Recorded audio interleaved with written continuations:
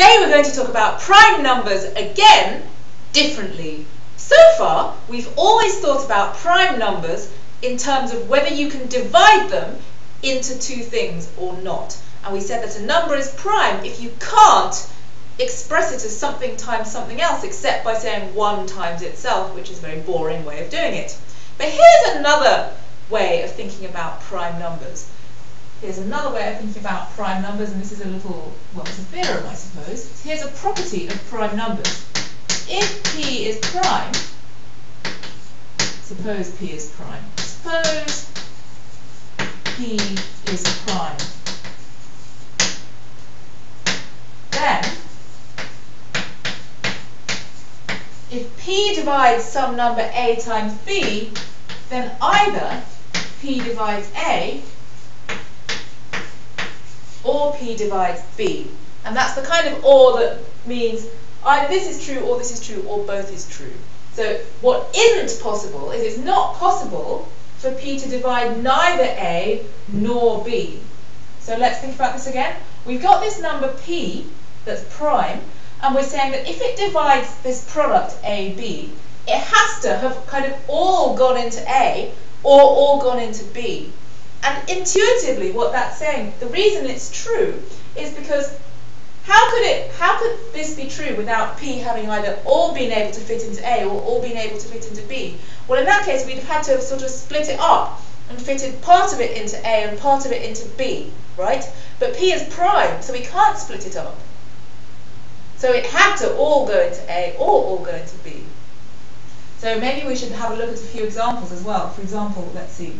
Um, let's, for example, put p equals 3. So what are some numbers that 3 goes into? Well, 3 divides um, 12. So that's, well, what can we express that as? 2 times 6. And 3 doesn't divide 2, but it does divide 6.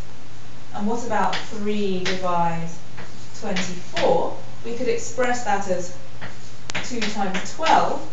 So 3 doesn't divide 2, but it, so it has to divide 12. Or if we expressed it as 4 times 6, 3 does not divide 4, so it has to divide 6. Otherwise, how could it possibly divide 24?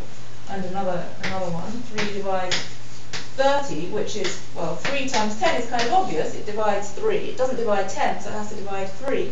Or we could say it's 5 times 6, well, it doesn't divide 5. 3 doesn't divide 5, so 3 has to divide 6. Or we could say it's 2 times 15. 3 doesn't divide 2, so it has to divide 15 in order to divide 30. So that's the general principle.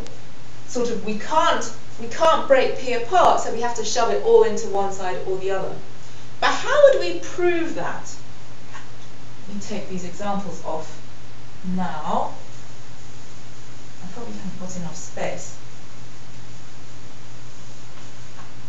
To prove it, we're going to have to use a rather sneaky result. So the proof uses the following fact. It's about when, what happens if you have um, two numbers whose highest common factor is 1. So suppose suppose that the highest common factor of x and y is 1. Then we can do this clever thing where we can, we can express 1 as some combination of x's and y's like this. Then there exist r and s integers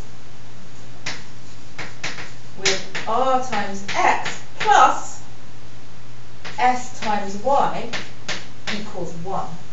So let's think about this for a second. For example, if we had uh, if we had 3 and 5, the highest common factor of 3 and 5 is 1. So how can we get some number of 3's together with some number of 5s. This can be minus, right, because s is an integer, it doesn't have to be a natural number, so this can be a minus, really, in there. So can we get some number of 3s plus some number of 5s to get, to get 1? Well, we can, because we could say, uh, we could say, we could do 9 and 10, right, they're 1 apart, or we could do 6 and 5, they're 1 apart as well, so we could go 2 times 6 minus 1 times 5 equals 1. So these, these, this is the, this is the R, and this is the S. And these two things are not unique, right? Because we could also have had, we could, oh wait, that's supposed to be a 3. 2 times 3 is 6, right? 6 minus 5 is 1. So we could also have had minus 3 times 3 plus 2 times 5 equals 1. Because this is minus 9, and that's 10, and we get 1. So this here is now the R, and this here is the S. And what else could we have had? Well, we could also have used 21 minus 20, right? We could have had 7 times 3 minus 4 times 5 equals 1. So there are lots of possible different ways of taking some number of 3's together with some number of 5's and making 1. And it doesn't matter, there are loads and loads and loads of ways, but the point is there is at least one way. And we could try this again, we could try this also with, let's do another example, we could try this with um, well, you can pick an example of two numbers whose highest common factor is 1 and you can try it yourself. Let's try it with 7 and 4. 4 and 7. So these numbers don't have to be prime, it's just that their highest common factor has to be 1. Well, that was kind of easy. We could do 2 times 4 minus 1 times 7 is 1. Let's do another one. Let's do 6 and Ah, 6 and 11. Well, let's do two, two numbers that, are, that, that don't have any common factors at all. Let's do 6 and, oh, my mind's gone completely blank. Let's do 6 and, I keep thinking of really easy examples. Okay, let's do 6. Let's do 6 and 11. Well, that was too easy as well because we can do 2 times 6 minus 1 times 11 equals 1. So how is this, how is this fact going to help us? Well, it's going to help us extraordinarily easily because given that there exist such numbers, we've got rx plus sy equals 1 whenever the highest common factor of x and y is 1. So let's suppose that P does not divide A, P does not divide A, but P is prime.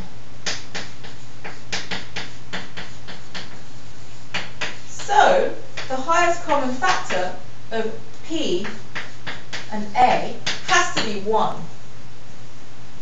So, we have some R and S with RP plus SA equals 1. Now, I haven't got very much time left, but let's multiply the entire thing through by b. RPB plus SAB equals B. Now look, P definitely divides RPB, right? And P definitely divides SAB because we know that P divides AB. But that means that P divides the entire left-hand side, which means that P has to divide B. P divides RPB and P divides AB, so that means that P divides B. So let's just go through what we did again. We said, suppose that P divides AB. Ah, suppose P divides AB, but suppose it doesn't divide A. So what we have to conclude is that P does divide B. So what we say is that, well, if it doesn't divide A, the highest common factor of P and A has to be 1. So we go through this trick and we conclude that P does divide B.